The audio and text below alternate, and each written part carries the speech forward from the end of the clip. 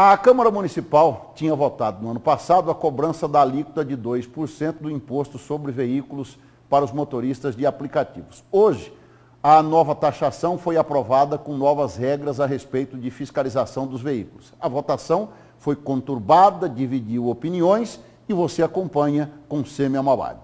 Primeiro, confusão entre os motoristas. Depois, empurra-empurra entre vereadores.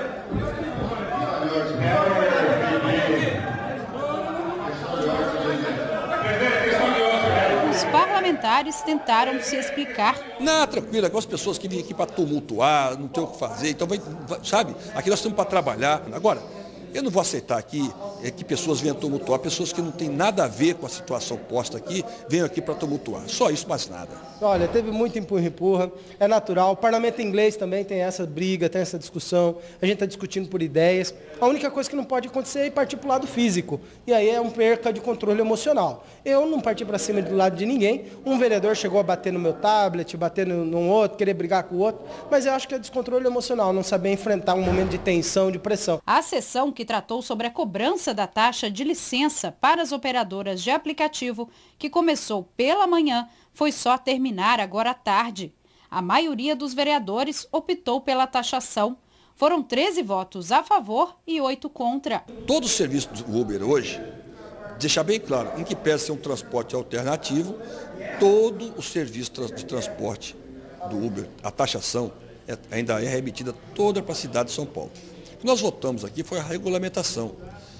Não se votou aqui nenhum imposto, deixar bem claro, não se votou imposto. Se votou aqui uma taxa do poder de polícia da Prefeitura Municipal de Cuiabá, uma fiscalização dos veículos que serão colocados à disposição da sociedade, das condições do veículo.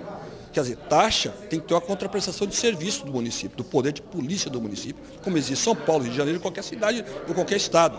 A partir de agora, Cuiabá está habilitada a receber por mês os 400 mil reais que a Uber paga, Uber Cuiabá paga, lá para a cidade de São Paulo. Cuiabá não recebe um centavo até hoje. Então isso é compromisso com Cuiabá e com a população Cuiabá. O imposto já foi aplicado no ano passado. Já cobra 2% sobre o aplicativo e 5% sobre o motorista. Já cobra. Isso já é passado. Esse discurso que, ah, que é um dinheiro que está indo para São Paulo é mentira.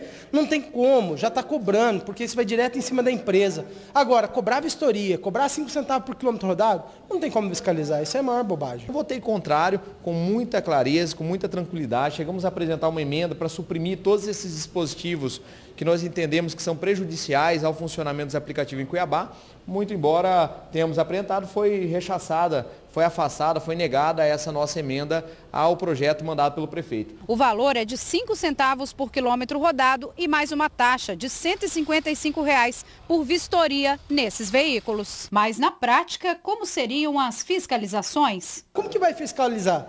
Vai ficar com uma blitz parada ali, blitz de Uber agora, e aí fica parado olhando assim, pega uma lanterninha, o agente da CEMOB, olhando dentro dos carros, verificando quem que está com o celular, aí manda parar o carro que tem um celular ali do lado e pergunta, deixa eu ver seu aplicativo, está ligado? Você está com passageiro? Como vai fiscalizar isso? É uma lei estúpida, não tem como fiscalizar. A fiscalização não é na rua, a fiscalização das condições do veículo é repassada para a Uber, para aqueles carros habilitados. A Uber estará obrigada a remeter a, a um banco de dados da Prefeitura de Cuiabá os veículos cadastrados por ela. Só isso.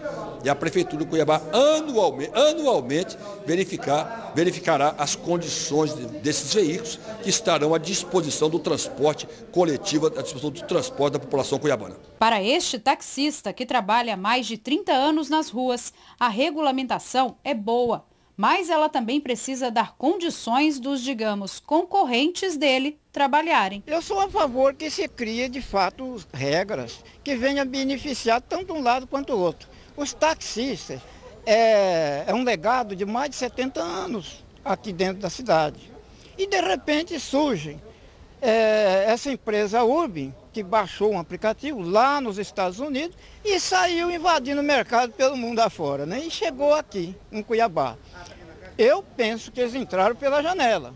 Mas, de qualquer forma, nós não estamos correndo com ninguém. Eu acho que eles estão certos de trabalhar. Cuiabá conta com 7 mil motoristas de aplicativos cadastrados, Para o presidente da Associação dos Motoristas de Aplicativo, a regulamentação vai ser boa para a categoria. A nossa opinião é que seja, foi feito o que deveria ter sido feito.